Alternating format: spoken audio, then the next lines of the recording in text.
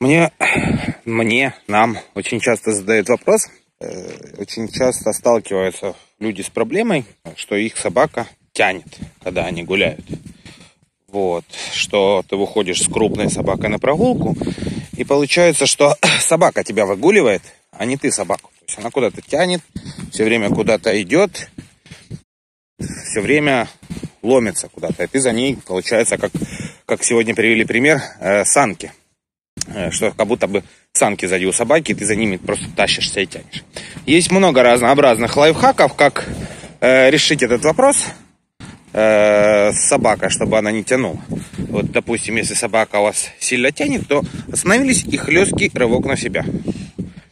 Хлесткий рывок на себя, и собака, в принципе, перестает тянуть. Я вам потом на овчарке покажу на примере, как это делается, потому что Дарыч у нас очень послушный.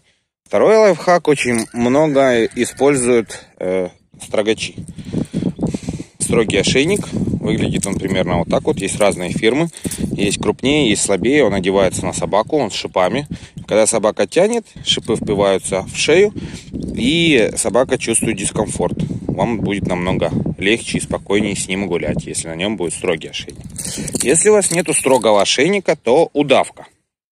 Удавка, можно сделать удавку с поводка, но есть специальная поводок-контроллер, он называется, еще добавок ко всему, сидеть ждать. Вот. Делается это таким образом. Берется, делается петля. Сейчас покажу. Вот такого вот образа. И одевается на шею. Сиди. Сидеть. Вот. Одевается на шею. Вот. И чем собака сильнее тянет, тем сильнее она себя душит. Вот, очень диких и буйных собак, которые агрессоры на других зооагрессию проявляют, мы одеваем именно удавку. Сам себя он не задушит, но на строгаче и на удавке дергать и тянуть на себя – нельзя, потому что будет, ну, очень плохо для собаки.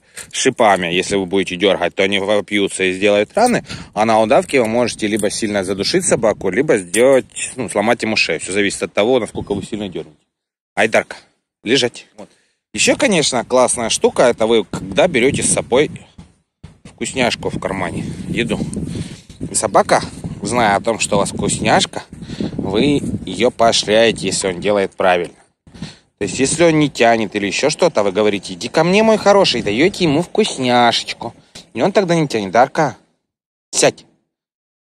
Служи народу Украины. Давай. Нет, служить. Служи народу Украины. Нет, давай, давай, давай. Мужик, служить. О, ты моя булка! Вот, вот такие вот парочку лайфхаков для того, чтобы не тянул. То есть, повторяем, если он тянет хлесткий рывок, собака перестает тянуть. Поддергиваем он, в принципе, понимает. Со временем он, собаке вырабатывается рефлекс, что больше, чем на длину поводка, отходить нельзя. И поводок натягиваться не будет. Ну, либо же, если у вас не хватает сил дергать, берете либо удавочку, либо же строгий ошейник. И будет вам счастье. Не, есть, конечно, много и других разных лайфхаков, но то, в принципе, приходите к нам на обучение – на общий курс послушания, дрессировки, можно будет со своей собакой сделать вот так вот, когда она гуляет. Подойти, вот так вот отщелкнуть, и все. И говорить, допустим, вот так вот. Айдарка! Дар, иди сюда. Малыш, смотри, ко мне. Оп, и подошел. Сядь. Айдар, ты молодец, хорошо подошел ко мне. Сядь, пожалуйста. Сидеть ждать сидеть, ждать. Вот. И будет у вас такое счастье. Хороший, послушный пацан. Тут рядом вон и куры, и другие собаки. Много других собак. Он сидит, на это все не реагирует. Но это, правда, не один день обучения. Это, можно сказать, годы тренировок. Некоторых лучше и быстрее это получается, некоторых хуже. Ну, а так, я думаю, может быть, чем-то я вам помог. Покажу на овчарке на примере, как дергаешь, и он перестает куда-то ломиться. Ну, чтобы было наглядно, потому что чаще овчаристы спрашивают насчет этого, а не корсятники.